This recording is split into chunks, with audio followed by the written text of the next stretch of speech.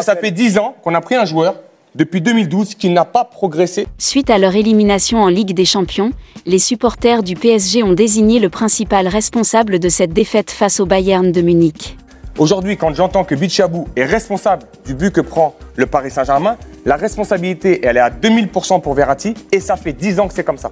C'est-à-dire ça fait 10 ans qu'on a pris un joueur depuis 2012 qui n'a pas progressé d'un iota. On a fait venir Vitinha, qui est un Verratti un peu différent, deux. C'est la même chose. Et oui, c'est plus ou moins la même chose. Et aujourd'hui, le problème, il est là. C'est pour ça que je vous dis qu'à un moment donné, quand vous allez avoir un entraîneur qui a les pleins pouvoirs sur la logique sportive, sur l'effectif et sur ce qu'il fait et ce qu'il choisit dans cet effectif, moi, quand je le vois dans sa, dans sa conférence de presse, il y a deux questions. Soit je me dis, il dit pas la vérité, soit je me dis, il est manipulé pour ne pas heurter ces joueurs Moi- qui sont aujourd'hui intouchables. Suis Pensez-vous également que Marco Verratti est le principal responsable Nous attendons vos réponses en commentaire.